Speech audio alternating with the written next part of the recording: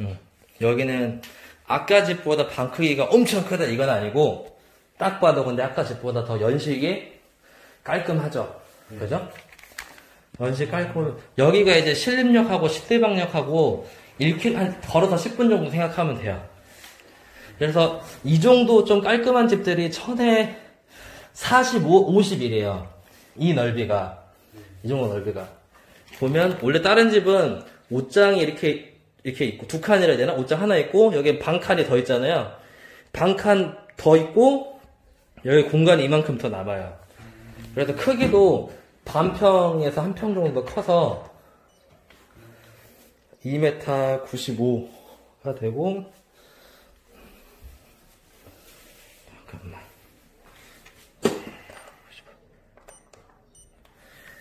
5m 60. 그러니까 만약 신림동에서 자취하시는 이거 역에서 신림역이나 신대방역 근처에서 자취하는 분들은 이 정도 연식이 이 정도 크기면 천에 50으로 대부분 살고 있을 거예요. 근데 지금 지금 코로나 때문에 천에 40까지 해, 해 놓은 거예요. 500에 45도 되고 천에 40도 되고 해서 대신에 역에서는 이제 걸어서 10분 정도 1km니까 그 정도 예상해야 돼요. 그러니까 처음에 문의 주셨던 그막 5, 5분 안쪽 그런 걸로는 많이 힘들죠. 침대는 매트리스만 두면 될 것 같네요. 침대를 쓰실 거면 안 쓸 거면 빼달라고 해야 될 것 같고 아마 전에 살던 분이 이거 프레임만 두고 간 건가 싶네요.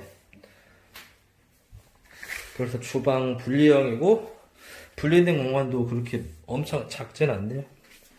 신발장은 여기 이렇게 있고. 그래서 역에서 10분 거리가 괜찮고 지금 천에 40 관리비 따로 6만 원일 거예요. 6만 원에 전기 가스 따로 하면 여기는 아주 강추합니다.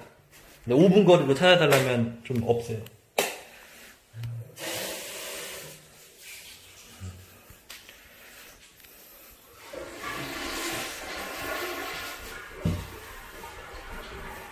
사진을 어디서 찍어야 이거 뭐다 나올까 모르겠네.